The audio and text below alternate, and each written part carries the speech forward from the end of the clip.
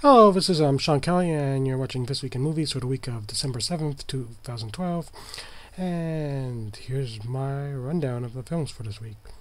Uh, there's not much in terms of new releases, and the only real new release would be this Deadfall, which is playing in limited release in Toronto. And instead, I'm going to probably catch up with Cloud Atlas, which I haven't seen yet, and I want to see it before it leaves theaters, so I'll going to probably check that out.